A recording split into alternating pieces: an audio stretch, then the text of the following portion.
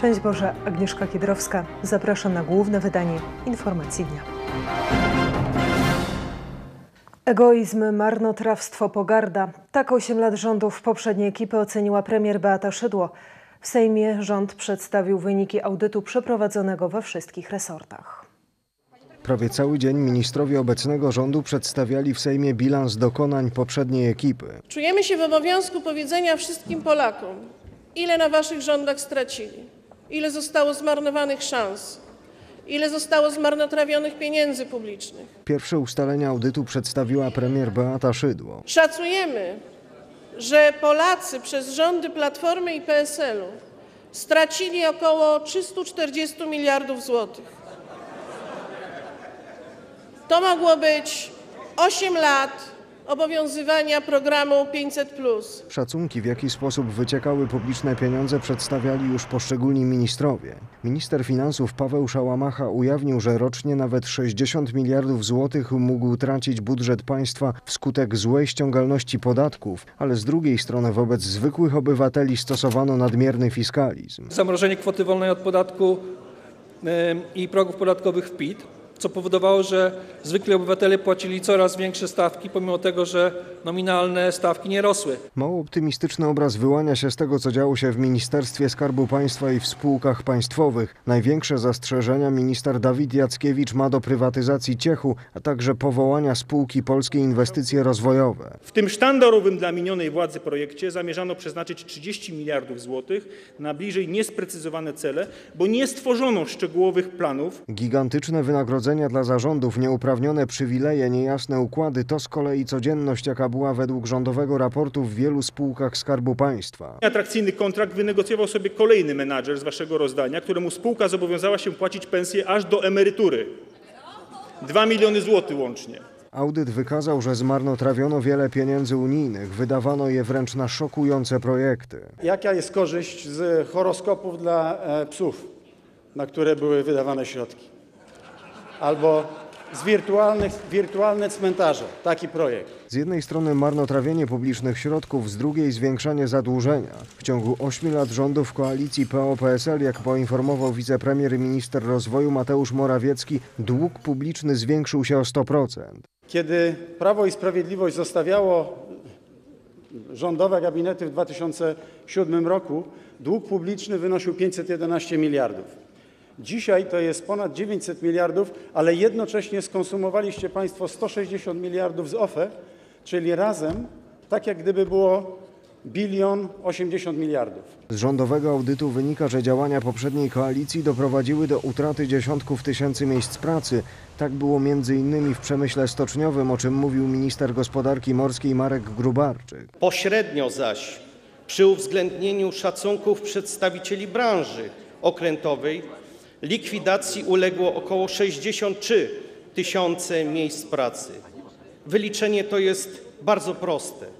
Jedno zlikwidowane miejsce pracy w stoczni skutkuje siedmioma zlikwidowaniem siedmiu miejsc pracy na rynku. Audyt to początek rozliczania poprzedniej ekipy. Przedstawiciele rządu w przypadkach podejrzenia złamania prawa zapowiadają wnioski do organów ścigania, ale nie tylko. Zwrócę się do Wysokiej Izby o powołanie komisji śledczej do spraw wyjaśnienia afery Amber Gold. Dziś Centralne Biuro Antykorupcyjne zatrzymało byłą wiceprezes Agencji Rozwoju Przemysłu i pięć innych osób. Podejrzani są o przyjmowanie i wręczanie łapówek oraz pranie brudnych pieniędzy. Opozycja krytycznie ocenia audyt przedstawiony przez rząd. Powód zdenerwowania PO i PSL-u jest oczywisty i nie jest nim niechęć do przyznania się do błędów. Chodzi raczej o konsekwencje wieloletniego marnotrawienia publicznych pieniędzy. Przedstawiony dziś w Sejmie audyt eksperci oceniają jako wydarzenie historyczne. Dla byłego ministra rolnictwa Marka Sawickiego z PSL-u audyt to niepotrzebne grzebanie w przeszłości. Te materiały, te informacje były powtarzane przez e, kandydatów na ministrów jeszcze za opozycji e, PiSu w poprzedniej kadencji. I w tej chwili są nadal kontynuowane. Nowoczesna określiła dzisiejszy audyt jeszcze ostrzej jako działanie populistyczne. Nie ma żadnych wątpliwości, że przecież Nowoczesna powstała dlatego, że nie podobały nam się e, rządy pra- e, Platformy Obywatelskiej i PSL-u przez te 8 lat, że uważaliśmy, że wielu rzeczy nie, do- nie zrobiono, a na przykład zamach na OFE było działaniem niekorzystnym dla Polski.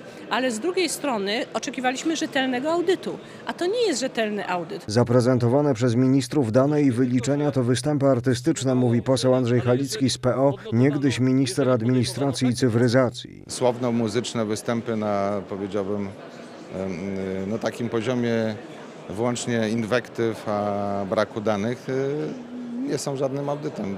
Proszę o bilans dokonań, to wtedy będziemy mogli rozmawiać i porównywać. Poseł Arkadiusz Mularczyk z Prawa i Sprawiedliwości nie ma wątpliwości, że ignorowanie przez Platformę audytu to nieudolna próba zbagatelizowania porażających faktów, które w końcu dotarły do opinii publicznej. Cały czas Platforma Obywatelska e, gra partię pokrzywdzoną, buduje narrację o jakichś zagrożeniach dla demokracji.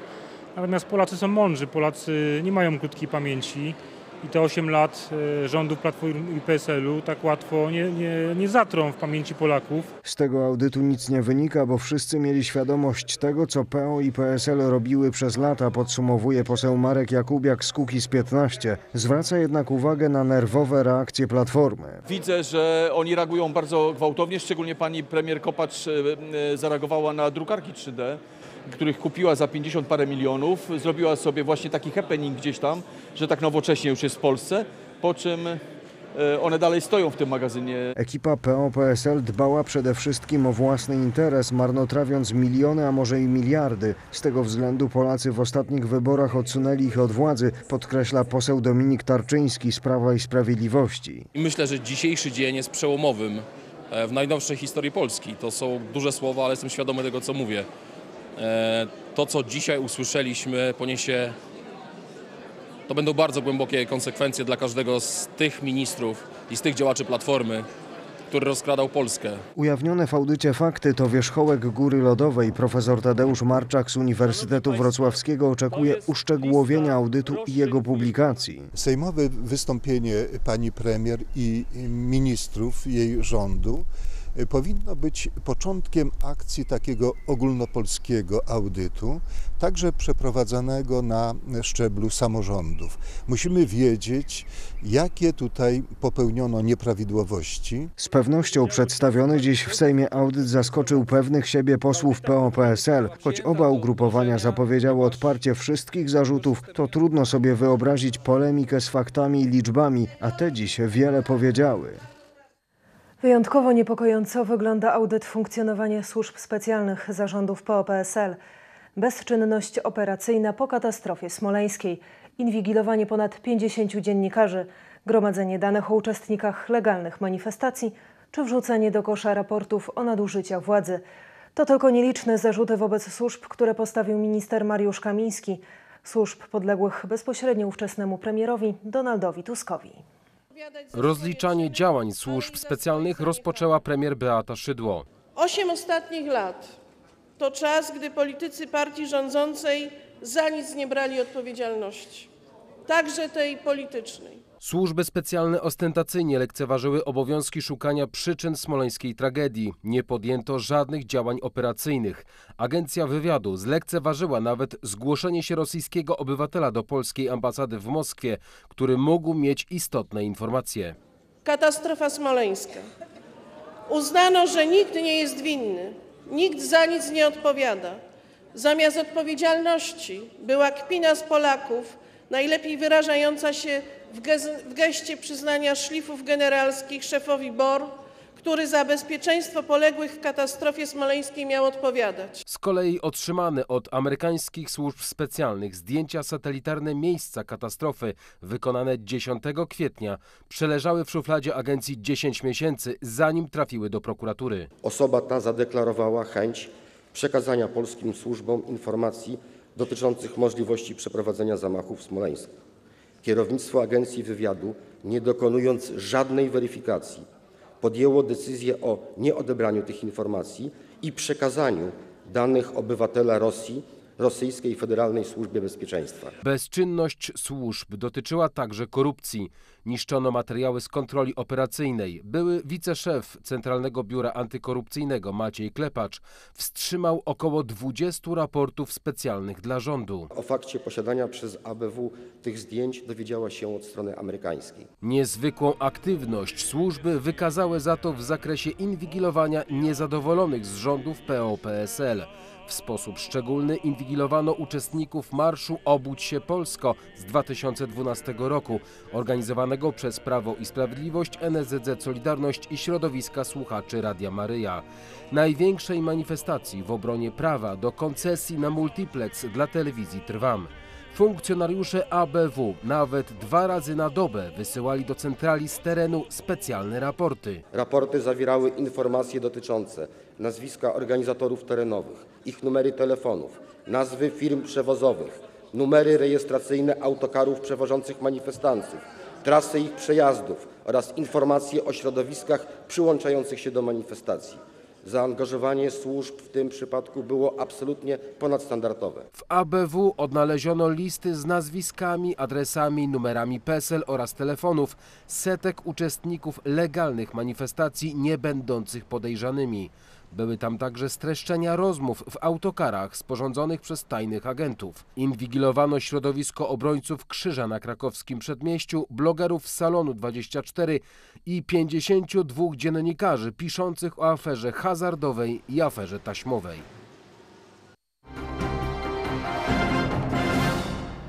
A teraz przenosimy się do Parlamentu Europejskiego w Strasburgu. Dziś europosłowie dyskutowali o reformie unijnej polityki azylowej. Socjaliści, liberałowie zieloni twierdzą, że najnowsze propozycje Komisji Europejskiej w tej dziedzinie nie są wystarczające. Europejscy konserwatyści reformatorzy ostrzegają, że plan Komisji idzie zbyt daleko, bo proponuje automatyczną relokację uchodźców między państwa członkowskie. Propozycja wykupu z tego obowiązku za 250 tysięcy euro to raczej kara niż alternatywa. Debata o reformie unijnej polityki azylowej oraz sytuacja w strefie Schengen. Te dwa tematy zdominowały dzisiejsze posiedzenie Parlamentu Europejskiego w Strasburgu.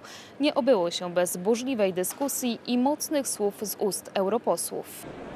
W myśl projektu reformy zasad azylowych stały system dystrybucji uchodźców uruchamiany będzie w sytuacji kryzysowej, a także w przypadku nieproporcjonalnie dużego napływu migrantów do któregoś z krajów członkowskich. Państwa, które nie będą chciały przyjąć uchodźców, będą mogły odstąpić od udziału w relokacji na rok, ale w zamian musiałyby zapłacić 250 tysięcy euro za każdego uchodźcę, którego nie przyjmą. Zdaniem wielu europosłów to absurdalny pomysł.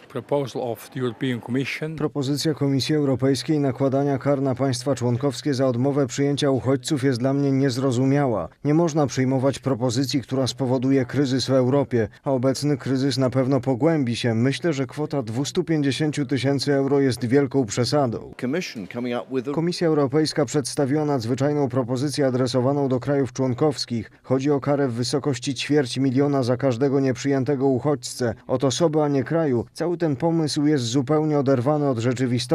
Eksperci uważają, że idea wykupu przyniesie polityczne konflikty w Radzie Unii Europejskiej. Zaproponowana suma ma charakter wymuszający na państwach członkowskich zmianę polityki migracyjnej. To jest e, pomysł przemysłowego e, lokowania ludzi e, wbrew woli społeczeństw, a także wbrew woli samych imigrantów, którzy chcą jechać tam, gdzie są dobre warunki i wysokie świadczenia socjalne do Niemiec i do Szwecji.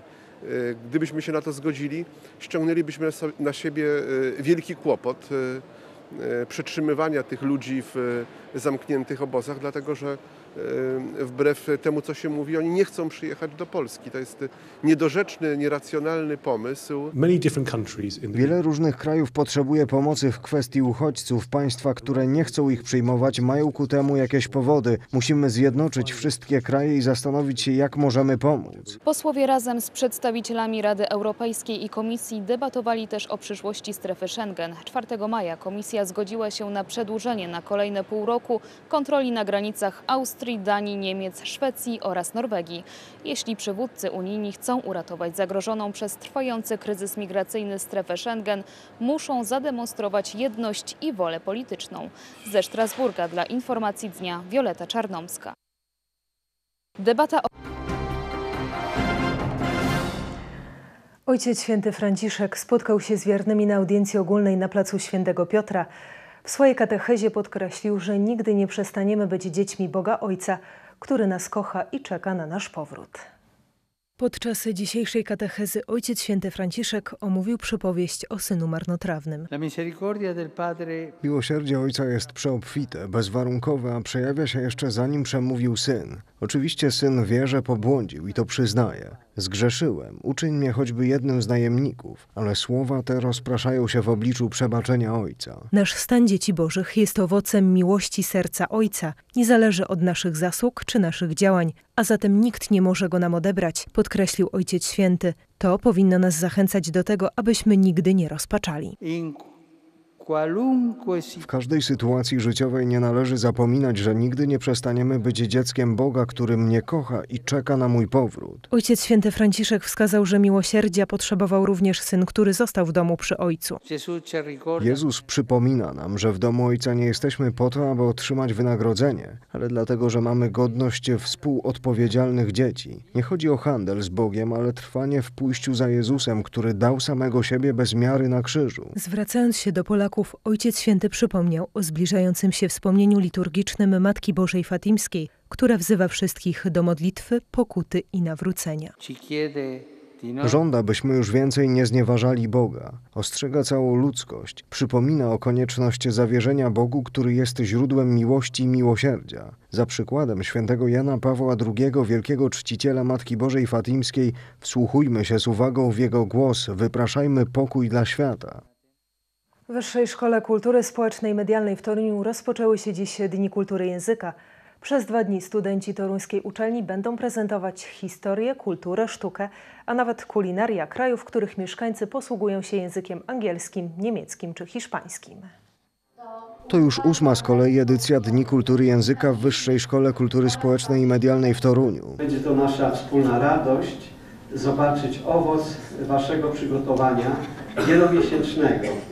Jestem świadom, że włożyliście bardzo dużo trudu. Mówi rektor uczelni ojciec dr Zdzisław Klawka. Owoców tych przygotowań, jak przyznaje kierownik studiów języków obcych w USKSIM w Toruniu, jest bardzo dużo. Studenci pod kierunkiem lektorów przygotowują różne wydarzenia, różne punkty programu, które wymagają scenografii, reżyserii, nie tylko umiejętności językowych. Przez dwa dni w USKSIM będą odbywały się liczne imprezy językowe, takie jak koncerty, przedstawienia teatralne, quizy i pokazy multimedialne.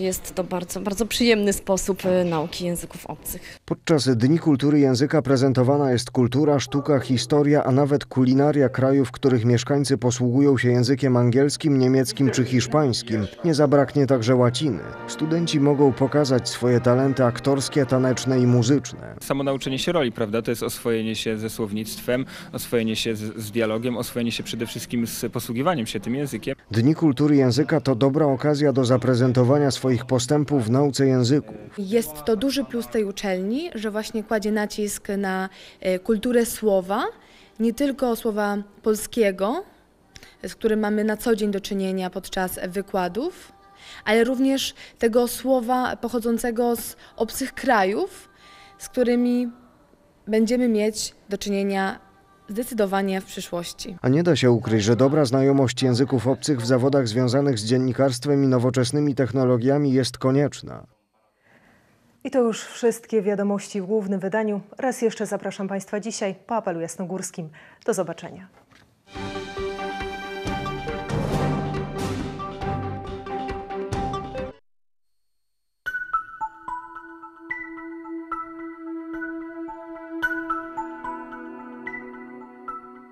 Iwona Kowalska, witam Państwa bardzo serdecznie i zapraszam na prognozę pogody. Od Pomorza przez Kujawy aż po Mazowsze więcej chmur z opadami deszczu. Miejscami możliwe burze. Natomiast na zachodzie pogodnie. Od 20 stopni w Gdańsku do 25 stopni na Pomorzu Zachodnim, ziemi lubuskiej i Dolnym Śląsku. Powieje słaby wiatr ze zmiennych kierunków. Ciśnienie będzie spadać i wyniesie około 1004 hektopaskali. I na koniec prognoza pogody na kolejne dni. Zapraszam. W piątek przed południem pogodnie tylko na Pomorzu. Na pozostałym obszarze dużo chmur z opadami deszczu. Po południu w całym kraju dużo chmur z przejaśnieniami i opadami deszczu. Na zachodzie i południu lokalne burze. Od 17 w Białymstoku do 21 na zachodzie. Powieje słaby i umiarkowany wiatr. W sobotę na południu i wschodzie dużo chmur z przejaśnieniami, miejscami spadnie deszcz. Na pozostałym obszarze małe i umiarkowane zachmurzenie. Możliwy deszcz w Gdańsku. Od 17 na Pomorzu Zachodnim do około 20-21 na pozostałym obszarze. Powieje słaby i umiarkowany wiatr. Podczas burz silniejszy.